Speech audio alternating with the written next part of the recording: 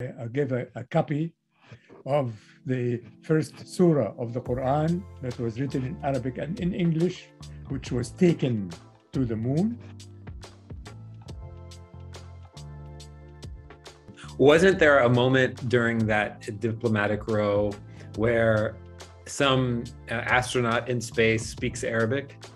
Yes, yes. I, when I went to to, uh, to the Gulf to to uh, make my lectures, I, I, I told them about the fact that I selected the landing sites on the moon and and based on what, and then I also gave them I, I gave a, a copy of the first surah of the Quran that was written in Arabic and in English, which was taken to the moon and returned to me. And I also gave, I had a recording of the greeting from Apollo 15 mission that was said by my friend uh, astronaut uh, Alfred Worden, who said, مرحبا أهل الأرض من Endeavour إليكم سلام.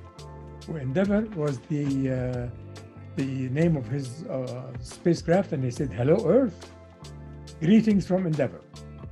So I, I actually played that recording in Arabic in my lectures and showed them the copy of the Quran, the pages of the Quran that went, and and then I added some of the names of the great Arab and Muslim uh, uh, astronomers who who worked on the that were decorated by naming them on the surface of the moon and so on. So Al-Biruni, Al-Battani, Al-Batigni, all kinds of fabulous Al-Khwarizmi Arab scientists that have names on the moon because mm-hmm. they were recognized by by Western uh, scientists as, as great men.